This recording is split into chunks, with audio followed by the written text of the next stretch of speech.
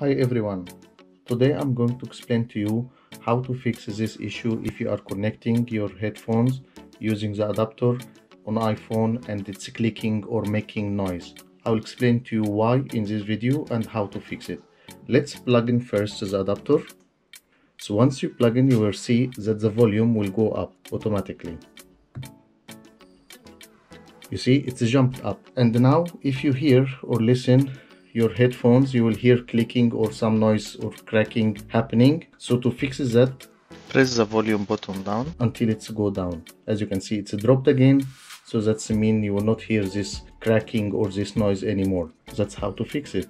If it works for you please don't forget to like and subscribe. In next video i will show you how i maintain my battery health 100% even after using my phone for one year.